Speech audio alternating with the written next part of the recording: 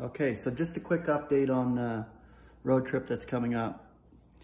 Uh, it's just coming together beautifully. I've got a week here.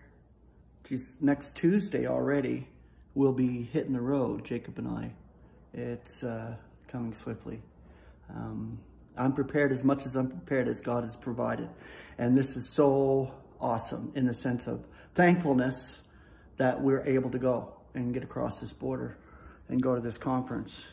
Um, I had a few people kind of poo-pooing on it, but in the sense of going across the border and coming back. But I done my research.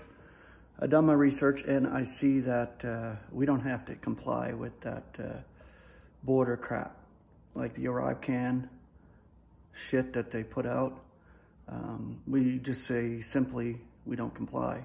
Coming back is going to be the kicker, but we'll get into our own country. They cannot refuse a Canadian citizen into his own country. Um,